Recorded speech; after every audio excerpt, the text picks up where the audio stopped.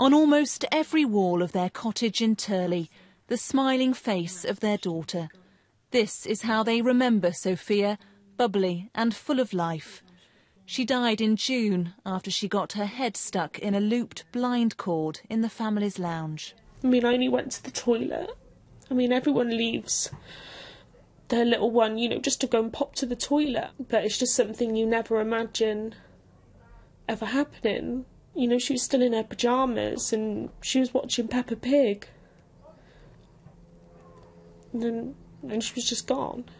Sophia isn't the first child to die after becoming entangled in a blind cord.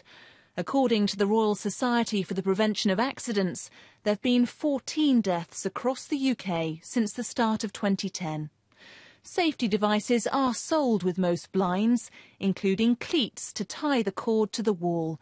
But Sophia's parents say that's not enough. We want them banned.